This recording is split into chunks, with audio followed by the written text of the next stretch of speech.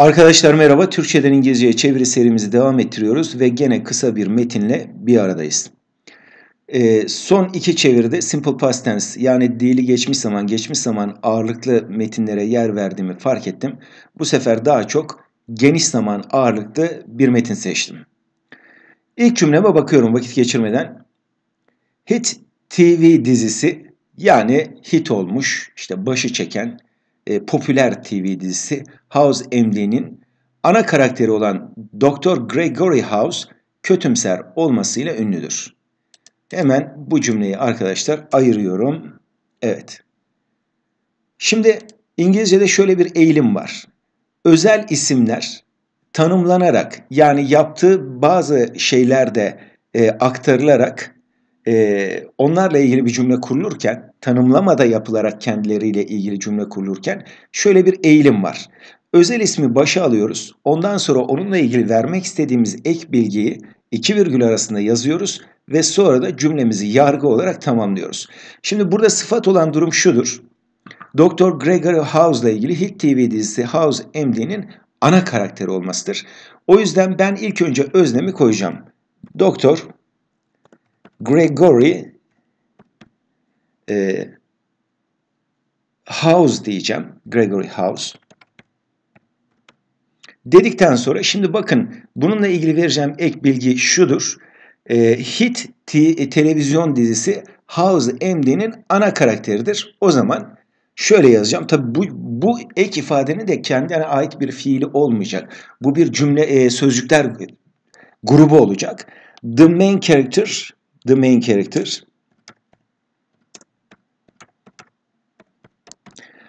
in the hit TV series diyorum. Televizyonu büyük yazıyoruz. TV series. İngilizce'de dizi series. TV series. De, e, hangi televizyon dizisi bu? House MD. dedikten sonra Şimdi başlatmıştım arkadaşlar virgülle bu ek ifadeyi ve virgülle de kapatıyorum ek, ek ifadeyi. Fiilsiz bir söz öbeği yerleştirdim. Tanımlayıcı bir söz öbeği ve kötümser olmasıyla ünlüdür diye cümleyi bitireceğim. Şimdi bir şeyle ünlü olmak İngilizce'de famous for olarak söyleniyor. Dolayısıyla dir diyorum is, dir büyük harfte kalmışız is. Nedir peki? Famous for. Famous for ile ünlüdür. Famous for o anlamda. Ne ile ünlüdür? Olmak, being. Olmayı isimleştirdiğimiz zaman sonuna ing ekini getiriyoruz. Being pessimist. Kötüm, kötümser önemli bir kelime bu arada İngilizce öğrenenler için. Evet pessimist kötümser olmasıyla ünlüdür dedim ve ilk cümlemi bu şekilde çevirmiş oldum. Şimdi ikinci cümlemi ayırıyorum ana metinden. Ancak karamsar olan sadece Doktor House değil. E, çeviri yaparken tabi dil Türkçedeki İngilizce, İngilizce'deyken Türkçe'ye de kayabiliyor. Doctor House diyecektim. E, Doktor House değil. Tabi ancak direkt but'la vereceğim arkadaşlar. E, alıyorum cümle başına batı. But. Şimdi biz şu karamsar olan ifadesini acaba İngilizce'de nasıl kurabiliriz? Arkadaşlar burada direkt topa itle gireceğiz itle gireceğiz ve o itin tanımlamasını daha sonra yapacağız. It is not değil, olan değil demiş olduk böyle. It is not only Dr. House. Sadece Dr. House değil. It is not only Dr. House. Sadece Dr. E, Dr. House değil. Ne Dr. House değil? Karamsar olan. Şimdi onu da tabii bir e, sıfat cümleciyle arkadaşlar yerleştireceğim Doktor House'un arkasına ve kişi tanımladığım için de who'yu kullanacağım sıfat cümlesi başlatırken who is a pessimist diyeceğim. Who is a pessimist.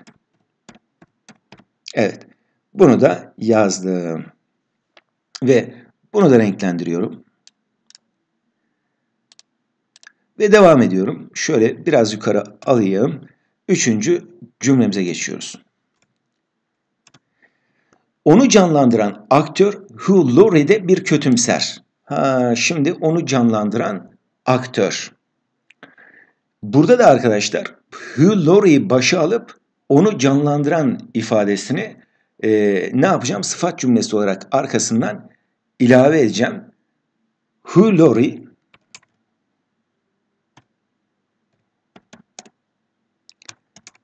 Hugh Laurie dedim. Tabi tek A yazmamız gerekiyor. Evet. Hugh Laurie. Hugh Laurie dediğim özel isimlerden sonra yapılan tanımlamalar arkadaşlar. Ee, bunlar bunlara biz non-defining relative clause diyoruz. Yani tanımlama yapmayan, aslında tanımlama yapıyor da ekstra bilgi veren relative clause'lar diyoruz.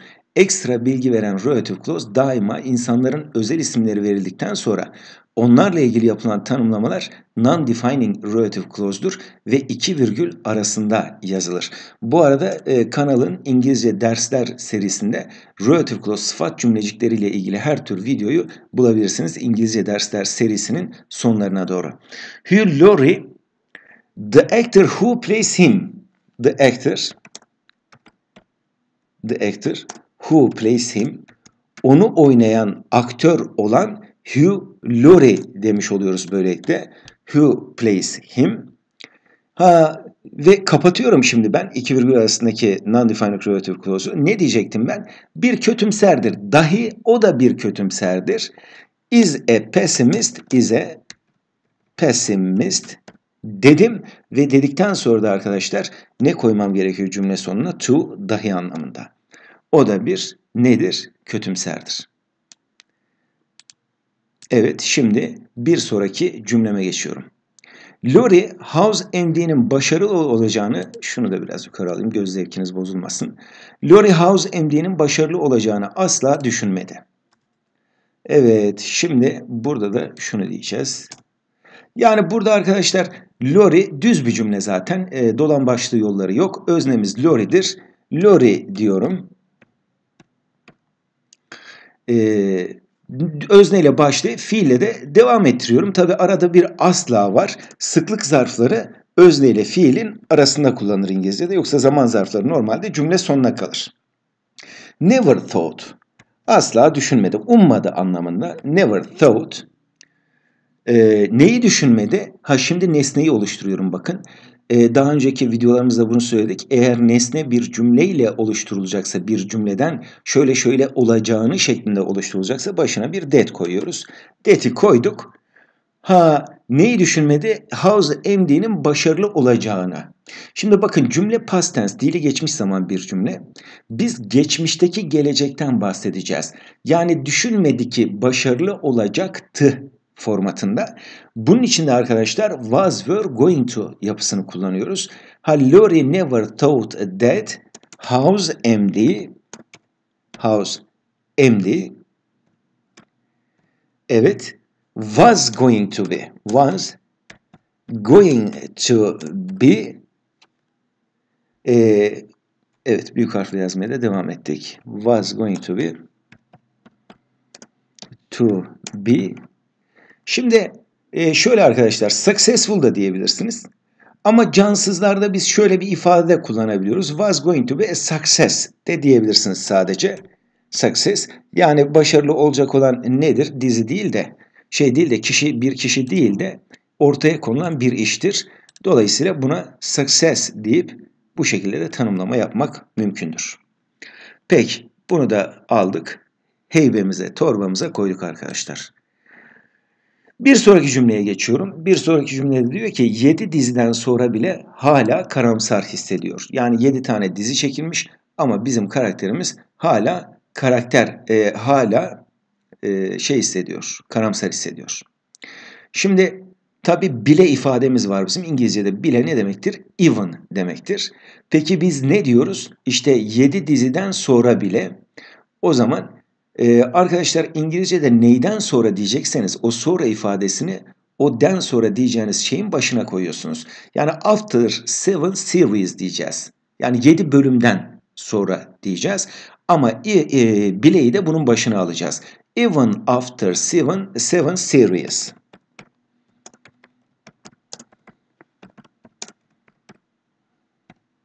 Evet.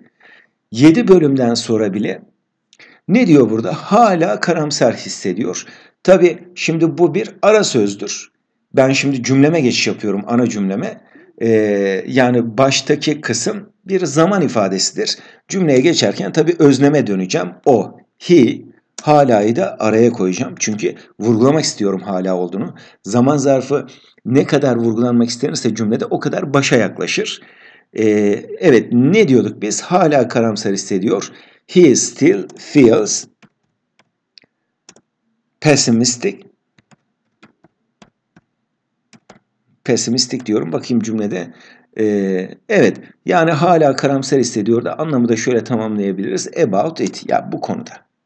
Bu konuda ya da dizi konusunda itten kasıt burada dizi. Hala karamsar hissediyor diyebiliriz. Evet. Arkadaşlar bu arada e, sizden şöyle de bir ricam var. Yani bir e, takipçi arkadaşımız sağ olsun e, söyledi bana yazdı. Hocam bence dedi birçok arkadaşın sizden haberi yok. Ben sosyal medya hesaplarımda paylaşacağım e, videoyu ve kanalı. Yani siz de bunu yaparsanız sevinirim. Maksat mümkün olduğu kadar insana e, faydalı olmak. E, yani e, paylaştıkça biliyorsunuz arkadaşlar güzellikler çoğalıyor. Tabii ki ben YouTube'a e, video koyarken mümkün olduğu kadar çok insana e, ulaşmak isterim. Tabii ki benim amacım budur. Ama e, siz de paylaşırsanız sevinirim. Ya ben şöyle bir hava seziyorum. Yani bana bu çok söyleniyor. Hocam videolarınız çok güzel ee, çok daha fazla izlenmesi gerekiyor. Neden böyle? Ya biraz cimrilik mi yapıyoruz? Yani insanlarda söylemek mi istemiyoruz? Paylaşmak mı istemiyoruz birileriyle? Arkadaşlar paylaşın. Bundan çekinmeyin. Bu anlamda ruhen cimri olmayın. Çünkü e, herkesin de haberi olsa bu videolardan, şöyle söyleyeyim ben size, herkesin de haberi olsa başarılı olanlar, her başarılı olan herkes olmayacak. Yolun sonuna kadar giden olacak çalışmayı devam ettiren olacak. Takip eden olacak. O yüzden e, ya emek veren bir insan olarak sizden ricam şudur. Yani ben videolara bakıyorum. Videolar çok uzun süre izleniyor. E, izleme süreleri oranları çok yüksek.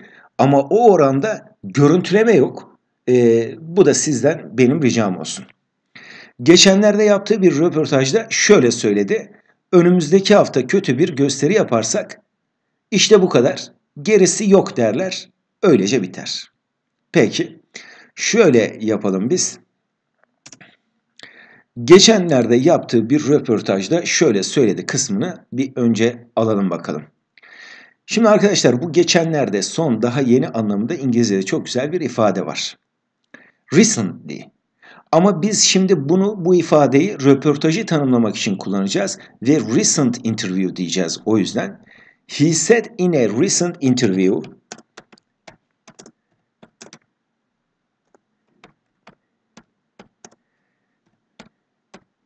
He said in a recent interview. Evet yani son zamanlarda, geçenlerde recent interview şöyle söyledi.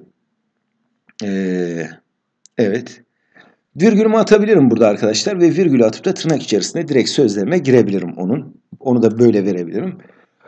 Önümüzdeki hafta kötü bir şov yaparsak, kötü bir gösteri yaparsak yani dizde kötü iş çıkarırsak demek istiyor. Ve tabi burada if clause kullanacağız. If we do a bad show. If we do a bad show, a bad show next week hani hafta hafta yayınlanıyor ya dizi o anlamda next week. Şimdi if clause'un biz şart cümleci kısmını tamamlamış olduk ve virgülü atıyorum böylelikle. Bu arada if clause ile ilgili de her türlü konu anlatımını e, kanalın İngilizce dersler oynatma listesinde bulabilirsiniz.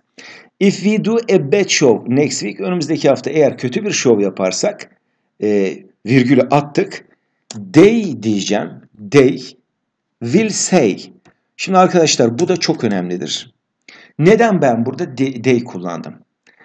İngilizce'de öncesinde çoğul bir özne kullanmadan they diyorsanız işte siz Türkçedeki şu anlamı veriyorsunuzdur. O işle ilgili olan kişiler kimse onlar.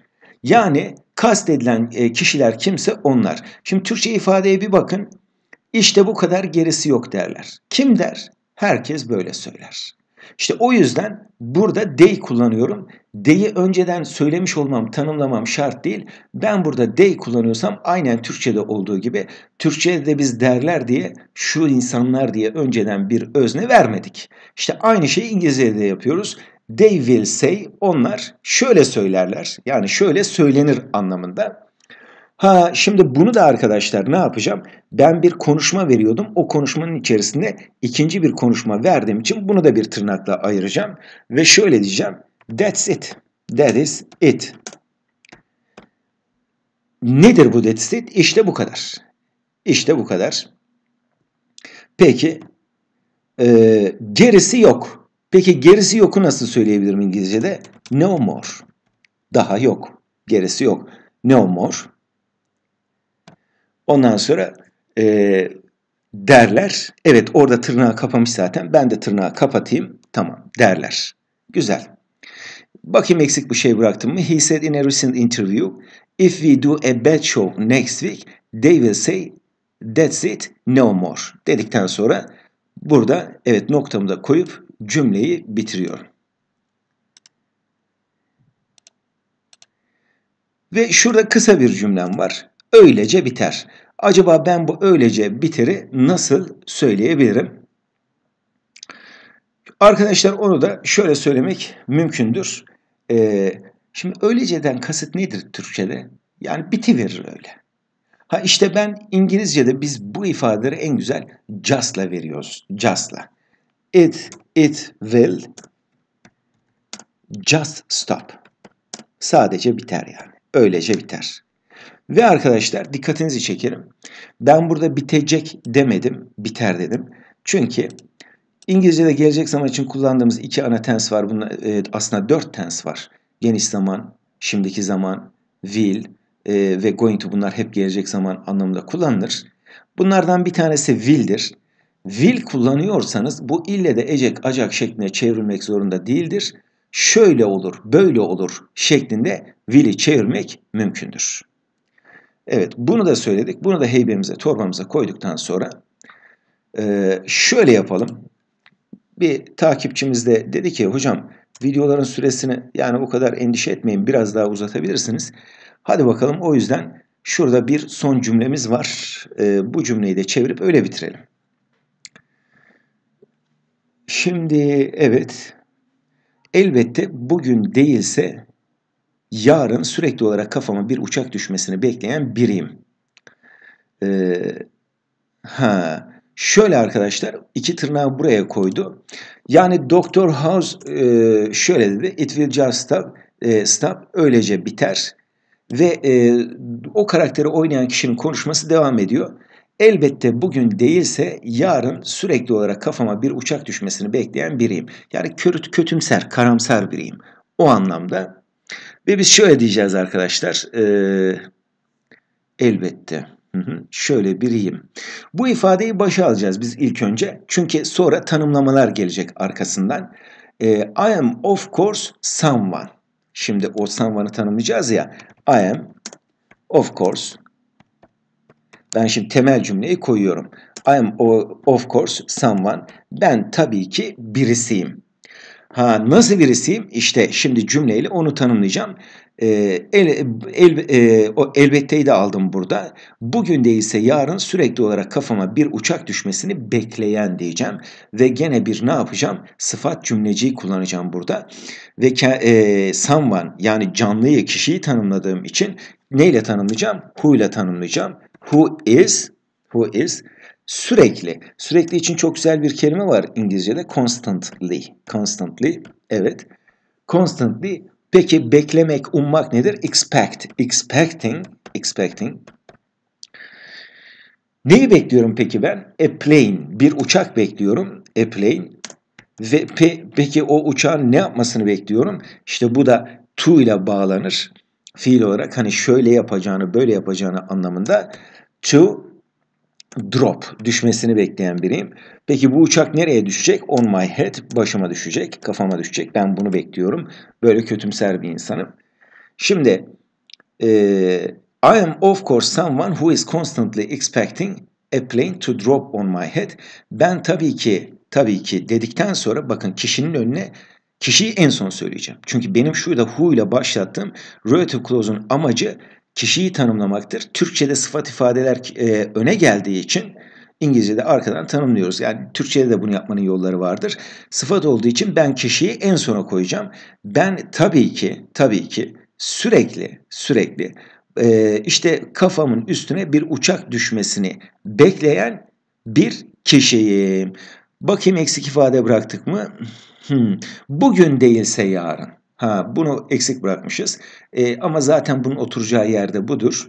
Ya daha öne de alınabilirdi ama buraya da alınabilir. Hiç fark etmez. Çünkü zaman zarfıdır ve zaman zarfının doğal yeri zaten cümlenin sonudur. E, bunu da nasıl yapacağım? Hmm. Bir bağlaç kullanacağım. Şöyle diyeceğim. If diyeceğim eğer if not today bugün değilse if not today öyleyse then tomorrow yarın if not today then tomorrow eğer bugün değilse öyleyse yarın diye de bitireceğim arkadaşlar. Evet şunu da tabi bu bir kişinin konuşması olduğu için bunu da iki tırnağın arasına alacağım. Evet arkadaşlar böylelikle bu çalışmamızı da tamamlamış oluyoruz. Bunu da renklendireyim e, ve ondan sonra vedalaşalım. Başka bir videoda görüşmek üzere. Hoşçakalın.